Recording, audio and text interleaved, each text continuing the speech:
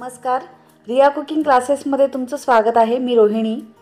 आज मी तुमच्यासाठी नॉनव्हेजमधील एक मस्त टेस्टी अशी रेसिपी घेऊन आले आहे.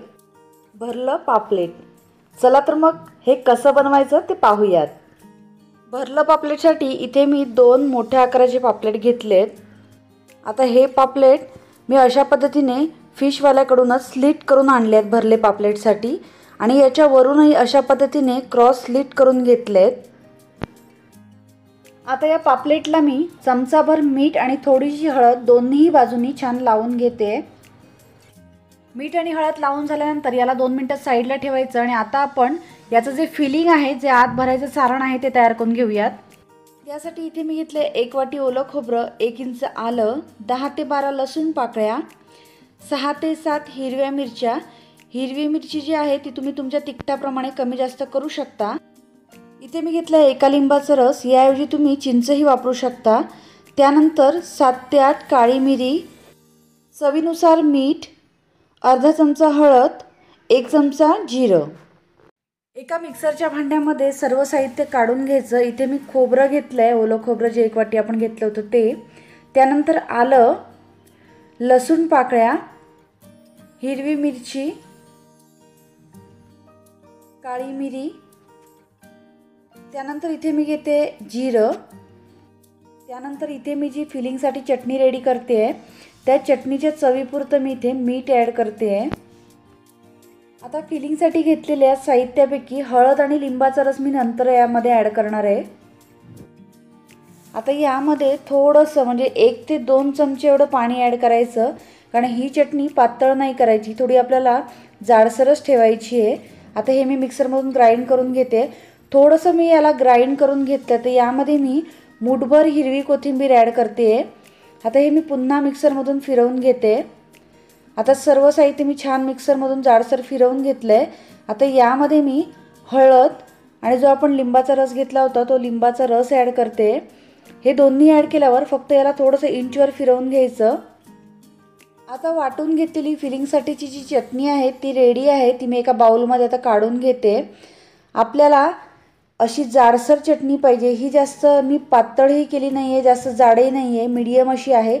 तुम्हाला शक्य असेल तर यापेक्षा थोडीशी जाडसर ठेवलात तरी चालेल. आता सुरुवातीला आपण मीठ आणि हळद लावून ठेवले जे पापलेट आहेत त्यांना जर पाणी सुटलेलं असेल तर थोडंसं त्याला प्रेस करून घ्यायचं आणि जे पाणी आहे ते काढून घ्यायचं. आता जी तयार चटणी आहे ती आपल्याला पापलेटमध्ये भरून घ्यायची आहे. जो स्लीट करून घेतलेला पापलेटचा भाग आहे त्यामध्ये आपल्याला अशा पद्धतीने व्यवस्थित ही चटणी भरून घ्यायची आहे. आता तयार चटणी जी आहे पापलेटमध्ये भरून घेतल्यानंतर तीच चटणी आपल्याला या पापलेटच्या वरूनही लावायची आहे दोन्ही बाजूनी. पापलेटला जेव्हा आपण चटणी किंवा मसाला लावून घेतो त्यावेळी आपल्याला जो शेपटीचा भाग आहे त्या बाजूकडून वरच्या साईडने अशा पद्धतीने लावून घ्यायची आहे. ही बघा अशा पद्धतीने. आता ही तयार चटणी मी पापलेटला दोन्ही बाजूने अशा पद्धतीने छान लावून घेते.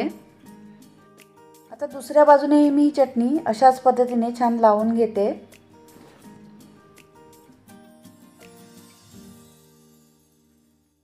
आता एक पापलेट जे आहे चटणी लावून रेडी आहे. तसंच मी दुसरं पापलेटही रेडी करून घेते. आता दोन्ही पापलेटच्या आत फिलिंग भरून वरून चटणी लावून हे पापलेट रेडी आहेत. हे मी दोन मिनटं साईडला ठेवते आणि आता आपण याचं कोटिंग तयार करून घेऊयात. पापलेटला कोटिंग करण्यासाठी इथे मी तांदळाचा रवा वापरते आहे घरचे जे रेग्युलर तांदूळ असतात आपले ते मी मिक्सरमधून फिरवून घेतले आहेत. जाडसर जसा आपला उपमाचा रवा असतो त्याप्रमाणे. आता या तांदळाच्या रव्यामध्ये मी थोडंसं मीठ ॲड करते म्हणजे कोटिंगच्या चवीपुरतं जेवढं मीठ लागेल तेवढंच मी यामध्ये ॲड केलं आहे त्यानंतर एक टेबलस्पून कश्मीरी लाल मिरची पावडर याऐवजी तुम्ही तिखट लाल मिरची पावडर असते ती ॲड केलात तरी चालेल. त्यानंतर एक टी एस पी यामध्ये मी गरम मसाला ॲड केला आहे हे मसाले ॲड केल्यानंतर हे छान मिक्स करून घ्यायचं. सर्व मिक्स करून झाल्यानंतर हे आपलं पापलेटचं कोटिंग रेडी आहे. आता आपण पुढची तयारी करूया. त्यासाठी इथे मी एक अंडं घेतलं आहे एका पसरट प्लेटमध्ये आपल्याला अंडं फोडून घ्यायचं आहे हे अंड आता चमच्याने अशा पद्धतीने थोडंसं मिक्स करून घ्यायचं. आता पापलेट फिलिंग भरून रेडी आहे. पापलेटचं कोटिंगही रेडी आहे. आता आपण पापलेट जे आहेत फ्राय करून घेऊयात. त्यासाठी इथे मी खोलगट तवा वापरते आहे तुमच्याकडे जर असेल तर तुम्ही शक्यतो खोलगट तवा वापरा. आणि यामध्ये मी तीन चमचे तेल काढून घेतलं आहे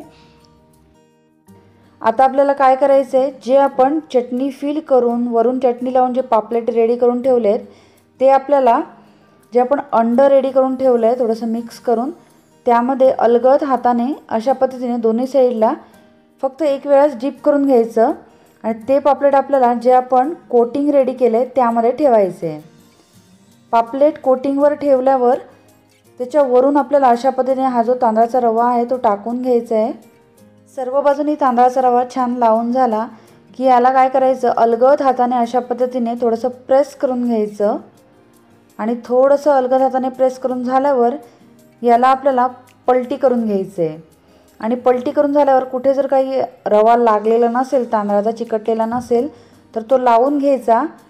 आणि तुम्ही पाहू शकता दोन्ही बाजूनी छान अगदी कोटिंग लागलेलं आहे. तेलही छान गरम झालं आहे आता यावर आपल्याला हे पापलेट ठेवायचं आहे आता गॅसची फ्लेम मी लो टू मिडियमच्या मध्ये ठेवली आहे गॅसची फ्लेम जर हाय ठेवली तर पापलेट जे आहे वरच्या साईडने फक्त फ्राय होईल आणि आतून कच्चं राहील. आणि लो फ्लेमवर जर आपण हे पापलेट फ्राय केलं तर त्याचं जे कोटिंग आहे ते निघायला लागतं आणि पापलेट जास्त ऑइली होतं.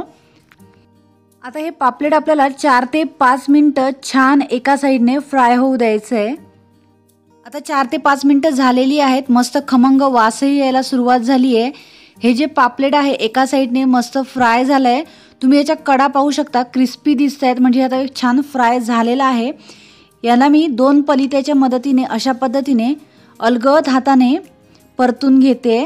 वाव! तुम्ही पाहू शकता किती मस्त खरपूस असं हे फ्राय झालं आहे आता दुसऱ्या बाजूनेही हे छान मी अशा पद्धतीने फ्राय करून घेते. अजून चार ते पाच मिनटं.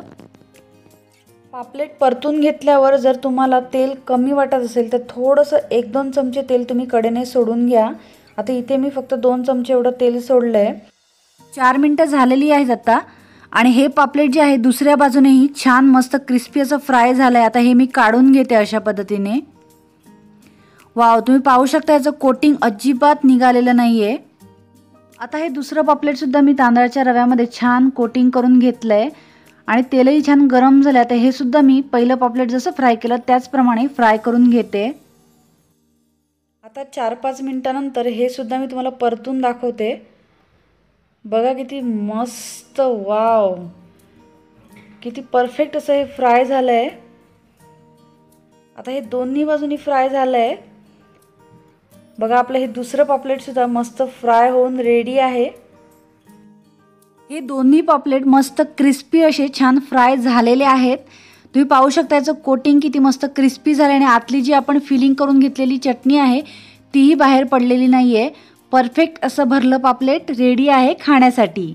तुम्हाला जर ही रेसिपी आवडली असल्यास माझ्या चॅनलला नक्की लाईक शेअर आणि सबस्क्राईब करा. भेटूयात पुढच्या व्हिडिओमध्ये तोपर्यंत धन्यवाद.